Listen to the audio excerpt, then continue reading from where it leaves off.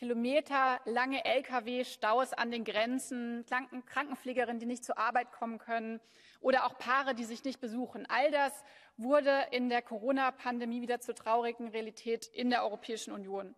Grenzkontrollen der Mitgliedstaaten haben den freien Verkehr von Waren, Dienstleistungen, aber auch von Menschen verhindert, den Binnenmarkt gestört. Und das darf nie wieder passieren. Und genau das wird das Notfallinstrument für den Binnenmarkt anpacken. Bessere Vorausschau, bessere Koordinierung und schnellere Verfahren sollen die Grenzen im Krisenfall offen halten. Denn der Binnenmarkt lebt doch davon, dass wir zusammenarbeiten und durch Zusammenarbeit Krisen überwinden. Und das sage ich vor allem auch in Richtung einiger deutscher CDU, CSU Landesregierungen, die wegen der Migration jetzt wieder europarechtswidrige Grenzkontrollen einführen wollen oder das bereits seit Jahren praktizieren, stellt nicht die größte europäische Errungenschaft aufs Spiel. In Krisenzeiten werden auch unsere Lieferketten auf eine harte Probe gestellt. Schocks bei Angebot und Nachfrage, Lieferengpässe, steigende Preise.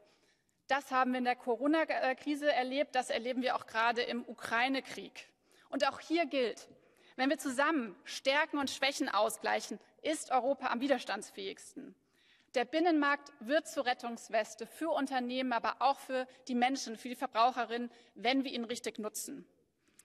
Wir Grüne, und das muss ich ganz ehrlich sagen, hätten uns gewünscht, dass das Gesetz mehr Zähne hat, dass wir ähnlich wie in den USA eine wirkliche Krisenwirtschaft ähm, etablieren können und uns darauf einstellen können, falls es wirklich nötig ist. Und jetzt enthält das Gesetz leider auch einige zahnlose Regeln.